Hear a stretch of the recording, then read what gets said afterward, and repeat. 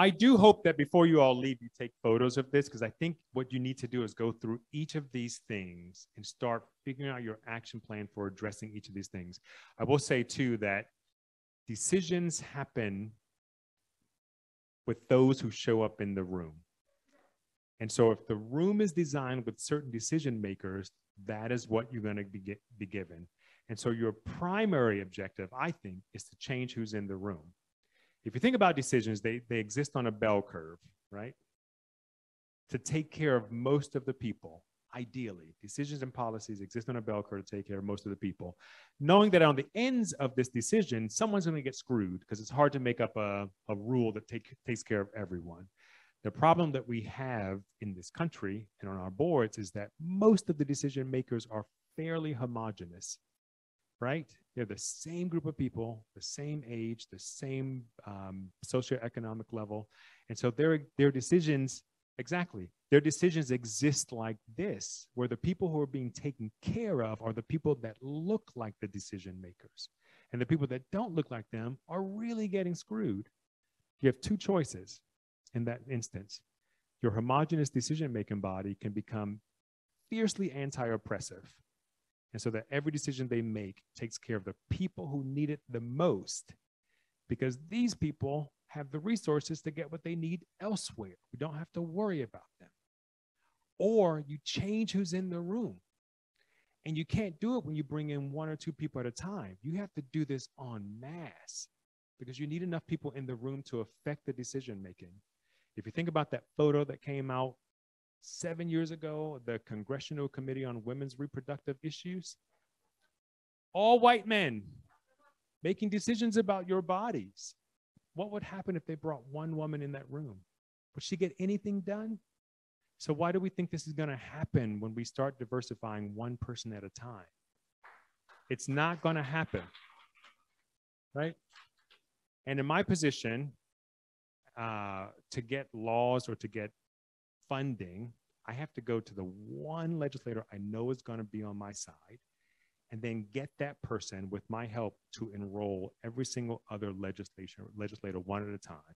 So that's coffees, that's meetings, that's going to their district, that's visiting them, that's building a relationship, and hopefully I'm building up enough consensus. So I suggest to you that when you start revising your boards, politic Go one board member at a time. And the people that you don't want on your board, make them miserable so that they leave. Politic, politic, politic. All right, so I'm probably going to get in trouble for saying that. All right, um, I also want to talk a little bit about this this donor thing and this fundraising thing because I think it's a myth. I think it's a myth. One, if you think about your whole donor pool, your board only represents a small part of that. I encourage you to do the math. If it's true, so there's research out there that says boards should raise 22 to 25% of the annual fund, not the full budget, just the annual fund, which for many of us is 50 50, right? Contributed to earned. So they're raising 10% of that. So if you're a million dollar organization, they're raising $100,000. Well, they're supposed to be raising 22, 25. Most are raising about 9 to 10%. They're raising about $100,000. If the executive director or the artistic director is spending one whole quarter of their year, three months of the year managing them, subtract that from that $100,000. Then subtract all the other time that the staff is spending helping you manage the board then subtract all the money you could have raised if you had that three months back. Then subtract all the ticket sales you could have earned if your board wasn't contributing to why your organization might be predominantly white.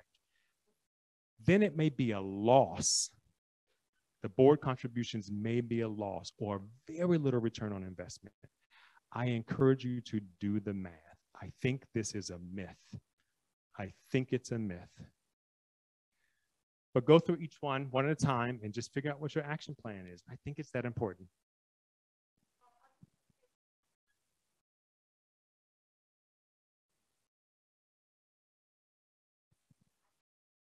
Foundations, you mean funding foundations?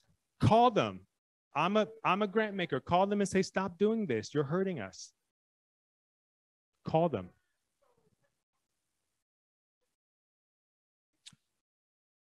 Privilege of wealth. I mean, we know it exists. Decouple this from your board from your board responsibility. Take it out. You don't need it. Don't need it, my friends. There are other ways to make money.